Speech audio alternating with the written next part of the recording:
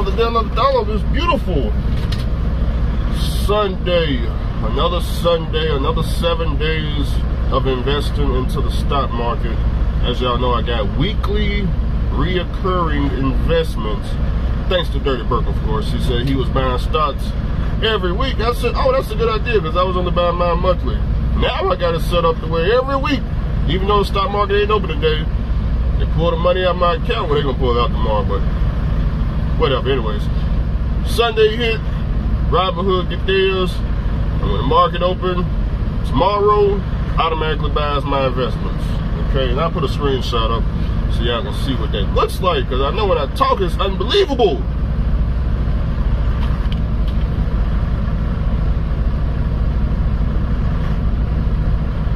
Now, if you want to invest in the stock market weekly, you can too. You ain't got to use Robinhood.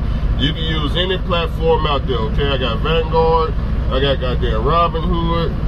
Uh, use whatever you want to use, you know. All of them should have the option, you know, I'm not too sure. But uh, basically, you just going to set it up, whatever stock you want to buy, go on that stock some kind of way, go to options, uh, invest weekly, you know, just, just what it, how figure it out is what I'm saying. On to the next topic, baby. Insurance. Now we just got approved for damn. I think like 13, 13 licenses. We waiting on Utah. Utah's no oh, shit. I think I only applied for 12. So I got 11. So we got approved for 11 licenses. We're still waiting on Utah to give me theirs. As y'all know, I invested in the insurance. I'm not out here just running trucks just to be running them. I do a lot of investing on the side, okay? So we invested in the insurance. We got the stocks, they buying weekly. You wanna know about the aviation industry, you do. Ground school, okay? Oh, it's hot to the mother. Get hot quick in this motherfucker. Damn. Get beach towel back out. Just get out the showers. Shit about the aviation. Okay, so it's a lot of ways to go about getting your pilot license.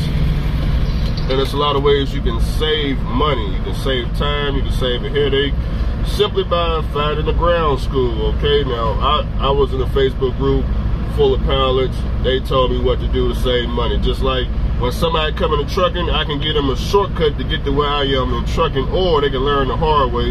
The hard way would be like some of my friends that just, they just steady out there leasing and losing, and we don't know what year they gonna figure it out. They may just, they may never figure it out. They just,